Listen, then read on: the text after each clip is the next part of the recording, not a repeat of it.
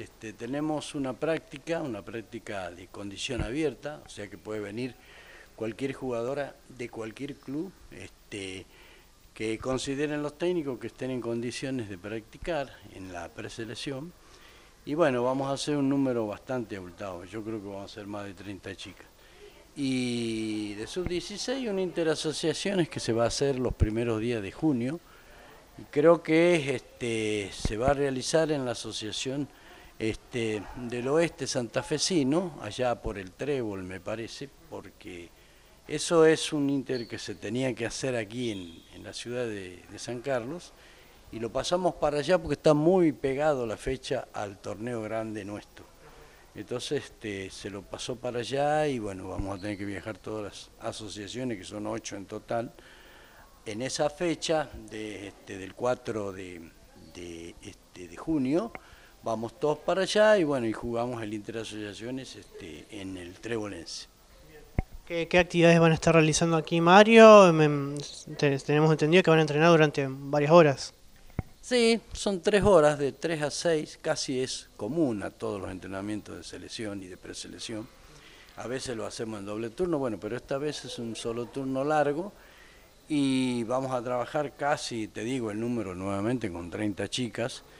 y seguramente vamos a trabajar todos los fundamentos básicos como para ir observando cada una en su respectiva función, cómo se desenvuelven, cómo están y finalmente ir este, cerrando el número, que seguramente lo vamos a hacer de aquí a dos semanas, cerrando el número y la cantidad para quedarnos con 18 o 20 y después este, de ahí elegir las 14 que van a representar a, a la Asociación de Santa Fe en esta interasociación.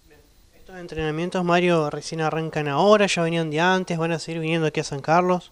Esta es la primera de esta categoría, se hizo en la categoría de sub-18, esta es la primera de 16 y bueno, veremos de qué se trata y cómo termina, pero sí, la idea es este, repasar algunos fundamentos, ir viendo cómo está cada chica y ir viendo, por supuesto, en cada fundamento y en cada este, posición qué es lo que más nos conviene por de acuerdo a las cantidades. Vamos a hablar, Mario, del torneo. Falta realmente muy, pero muy poquito para que vuelvan a realizar este torneo que, realmente es muy lindo, que ustedes lo disfrutan mucho. Cuesta organizarlo porque hay mucho trabajo, pero que bueno, felices, me imagino, de que puedan volver a, realizarlo. Faltan 20 días nada más y ya, ya comienza. Sí, una alegría plena el poder volver a organizar nuestro torneo tradicional. Este año es la 30 edición, se llamó Bodas de Perla y que no la venimos, no la podemos hacer en los últimos dos años por la pandemia. Y bueno, este, estamos tratando de darle lo mejor a cada uno de los clubes que nos visitan, hay clubes de todos lados, hasta de Brasil, como siempre vienen, este, tienen tres instituciones o tres clubes de, de Brasil, después vienen muchos clubes de Mendoza, San Juan, este, vienen equipos de, Buenos Aires, de Córdoba, eh, prácticamente viene todo el país, ¿no? Y bueno, y la provincia de Santa Fe que tiene un semillero de, división inferior extraordinario, buenos equipos. Así que bueno, tenemos la suerte de que la podemos organizar nuevamente, hay subsedes, subsedes en Santa Fe, en el Club Banco Provincia, subsede en Alma Junior de Esperanza, el Club Atlético Fran, Libertad de San Jerónimo Norte, nosotros aquí en San Carlos Centro tenemos el Club Argentino, Central San Carlos y San Carlos Sur, Progresista de San Carlos Sur. Y también tenemos Jorge Newbery de Galve, que está cumpliendo 100 años esa institución, así que le dimos nuevamente una subsede allá y se va a jugar varios partidos viernes y sábado. Y el domingo vienen todos para acá a desarrollar el cierre de todas las categorías. Veía Mario el listado de los equipos que, van a estar participando, de los clubes, y bueno, realmente intacta la, participación de los clubes, eh, realmente como siempre, como todos los años, los clubes se suman y quieren venir todos aquí a San Carlos a, participar del torneo de ustedes. Sí, de clubes hay más o menos unos 70 o 75 clubes, yo no lo tengo muy claro en la mente, pero es más o menos el número,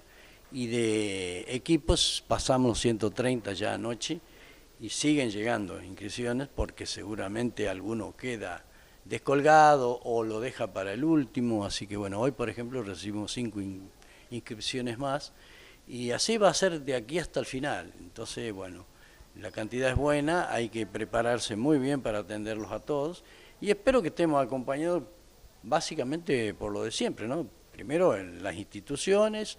este, aquí en San Carlos tenemos siempre colaboradores este, históricos, como el colegio, por ejemplo, que nos presta sus instalaciones, este, bueno, el club ni hablar, la mutual del club también,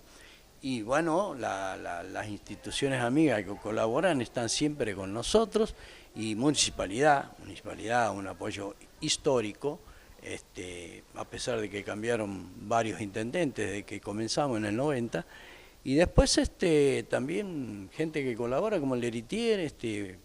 eh, la Cristalería San Carlos, y, bueno, tenemos Besones, mucha gente que está siempre estuvo con nosotros en todos los, los históricos torneos que hicimos.